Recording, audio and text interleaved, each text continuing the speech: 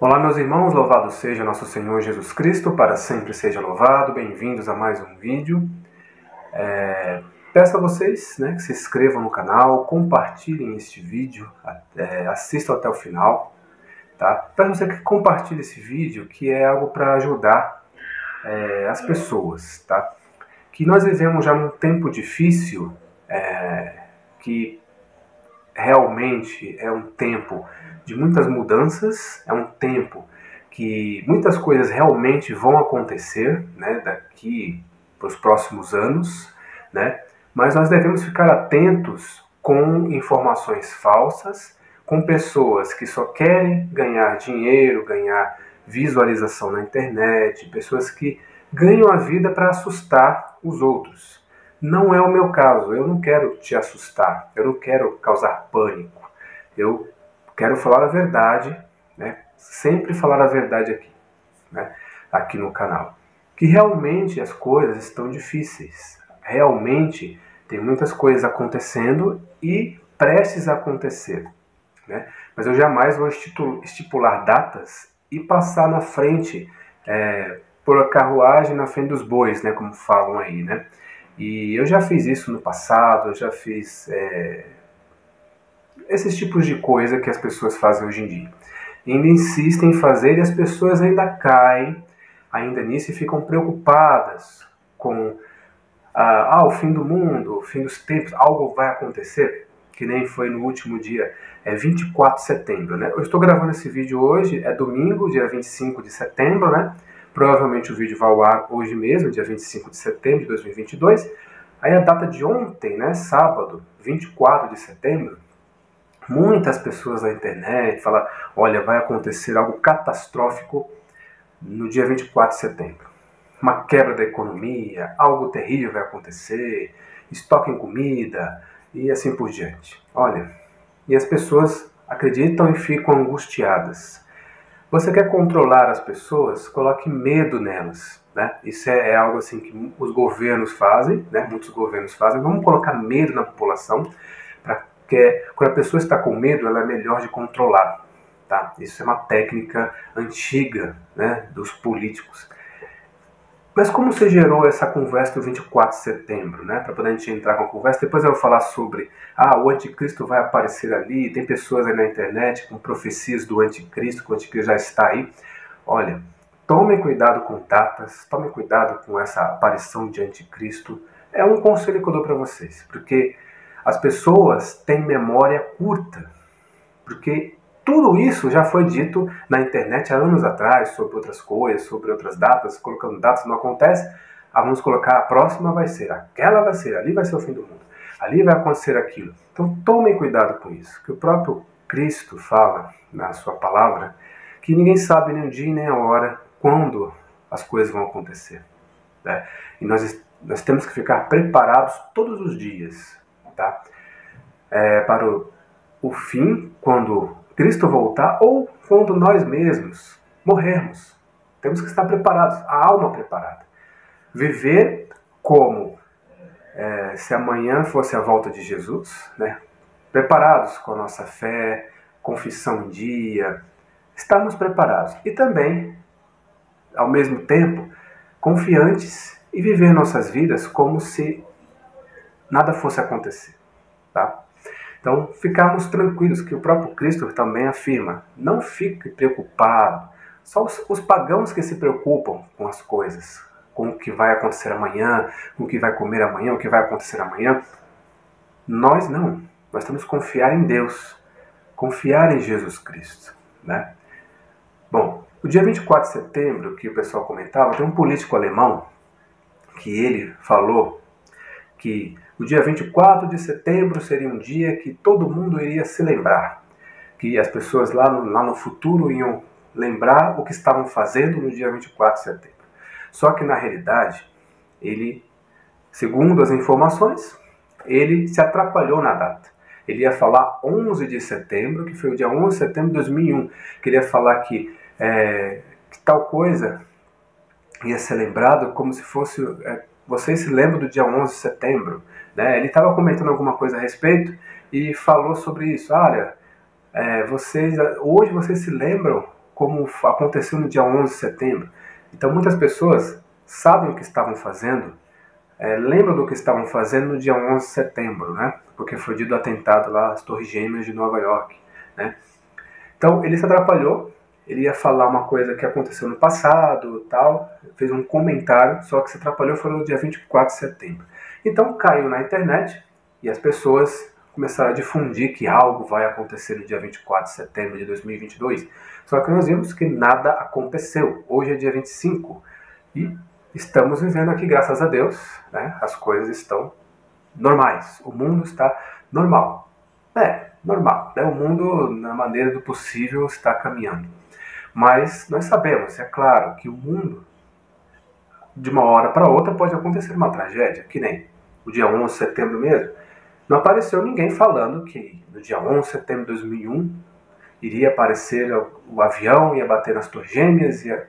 ninguém falou, né? Alguém falou? Alguém falou que ia acontecer isso? Não, ninguém falou. Né? Aconteceu de surpresa, por isso que temos que estar preparados, porque do nada acontece. Que nem o próprio Jesus fala que a volta de Jesus será como um ladrão. Você não vai, sem você menos esperar. Por isso que eu não me preocupo com datas. Ah, vai acontecer isso. Quando todo mundo parar de falar, aí eu vou me preocupar.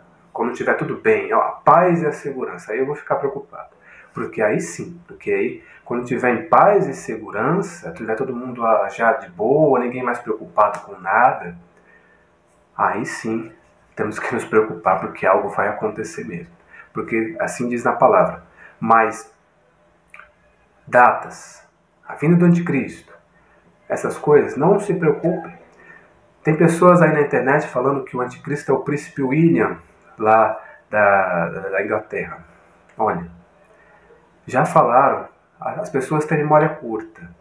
Mas quando Emmanuel Macron é, se tornou a, o presidente da França, quantas e quantas pessoas falavam: olha, esse aqui é o anticristo já? O anticristo. E nada aconteceu. Segundo a história, o anticristo viveria, é, governaria sete anos, se eu não me engano, e mais só que menos do que isso, ele já mostraria que ele era o anticristo. Quanto tempo está o Emmanuel Macron aí? Tá? Então, gente, o anticristo é um espírito, é o espírito do anticristo. A nossa fé católica afirma isso, baseado na Sagrada Escritura. A Sagrada Escritura afirma isso também, que o espírito do anticristo que está no mundo há muito tempo, desde a época de São João. Ok? E está no mundo o espírito da verdade e o espírito da mentira. O espírito da verdade é o Espírito Santo. Ok? Como eu disse no vídeo anterior. Então, tomem cuidado. O que eu falei também no vídeo anterior sobre o anticristo é nada impede que o espírito do anticristo esteja nos governantes, como está hoje em dia, né, nos governantes do mundo. É, o mundo está à beira do caos porque abandonou Deus. O mundo está à beira de uma nova guerra mundial. Né? Ninguém está preocupado com isso. O pessoal não está preocupado com a guerra da Ucrânia, só que lá tem armas poderosíssimas que, se fossem usadas, destruiriam o mundo inteiro. Mas ninguém está preocupado com isso. O pessoal está preocupado com, ah, vai vir o anticristo, vai vir. O anticristo já está aí. O anticristo está na pessoa do Putin, por exemplo na pessoa também lá da, da Ucrânia, do, dos governantes da, da, Estados Unidos, tá, tá, o anticristo está ali, no meio do, dos governantes. O espírito do anticristo paira sobre os governantes mundiais. Só vê a tensão, a guerra, as pessoas. Tem pessoas lá na Ucrânia, é, na Rússia, que tem caras que estão quebrando o próprio braço para poder não ir lutar na guerra, porque é uma guerra inútil, uma guerra de capricho. Né? Aí o cara, eu não vou querer matar o meu semelhante ali, o meu vizinho, para quê? Aí o cara quebra o próprio braço, porque o cara é, tem alguma coisa, quebrou o braço, ele não pode ser, ser convocado, porque lá os caras estão sendo obrigados a lutar na guerra.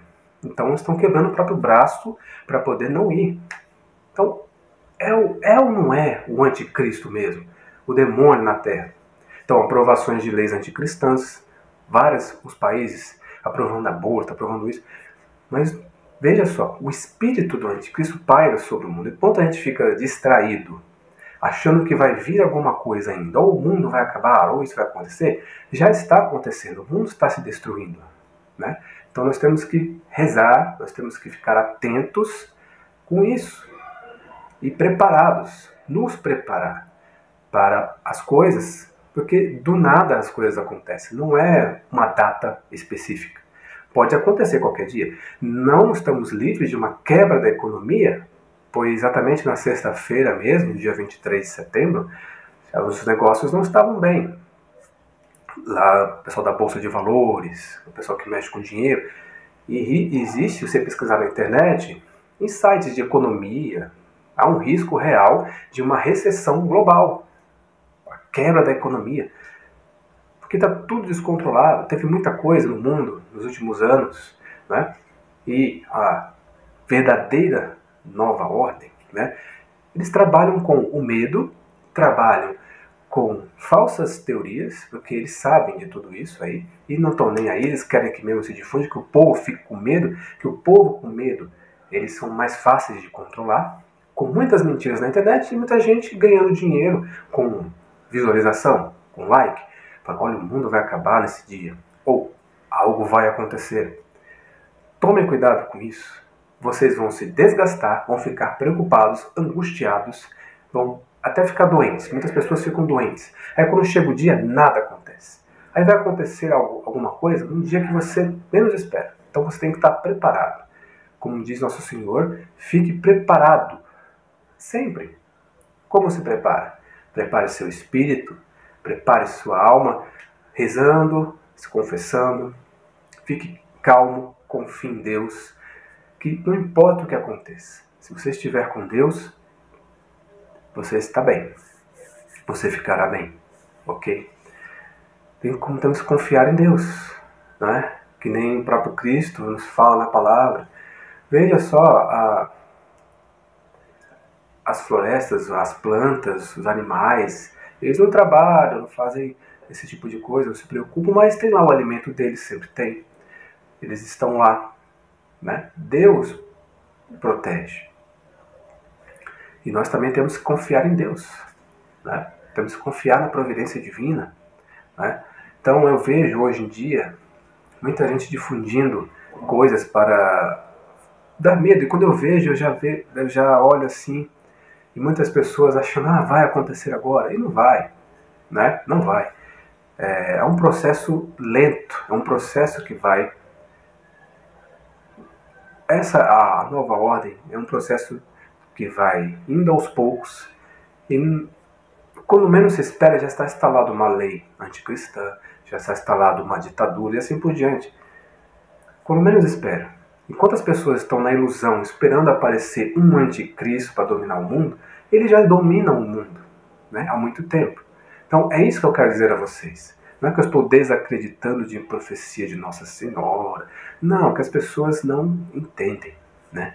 Que a verdade que o, o anticristo, o espírito de Cristo já está no mundo, já domina o mundo. E tudo isso são distrações para te tirar, é, para te preocupar, para te desestabilizar quando você vê vídeos que ah, o mundo já está acabando, vai acontecer algo no dia tal, ou o anticristo já está aí, te desestabiliza. Tu já fica preocupado, se desgasta, já abandona tudo. Ah, vou abandonar meu emprego, vou abandonar minha família, vou embora, vou fugir para as montanhas, vou é, morar lá na, na, floresta, eu vou juntar, juntar alimento. Calma, não é assim. Tá? Não é assim. Jesus, quando voltar, será que nem um raio, como diz a palavra. E outra coisa muito importante: não vai aparecer nenhum Jesus aqui na Terra para governar nada, tá? Não vai ser presidente, não, não vai ser governador mundial, não vai ter nada disso. Jesus vai aparecer como um raio, um abrir e fechar de olhos, acabou. Aí você vai estar no céu, os outros vão estar no inferno, ou, ou assim por diante, tá? Não vai ter Jesus aqui, como ele veio há dois mil anos, governar o mundo, não, tá bom? Não vai ter isso. Eu sinto lhe dizer, tudo é, tem muita fantasia na internet. A realidade é que Jesus vai vir como um relâmpago que brilha do Oriente, do Ocidente até o Oriente. E vai arrastar tudo, vai ser tudo num abrir e, e fechar de olhos. Tá? A palavra nos garante isso. Coisas rápidas, vai ser muito rápido. No estalar de dedos, tudo vai acabar. Como a palavra diz que o sopro da boca de Deus vai destruir o anticristo, o império do anticristo, as coisas ruins, né? E a paz reinará. Okay? Então, essa é a realidade. Então, não caia em falácias sobre o fim dos tempos. Permaneça firme na sua fé, não importa o que digam, não importa o que aconteça. Amém? Então, isso que Deus abençoe vocês e até o próximo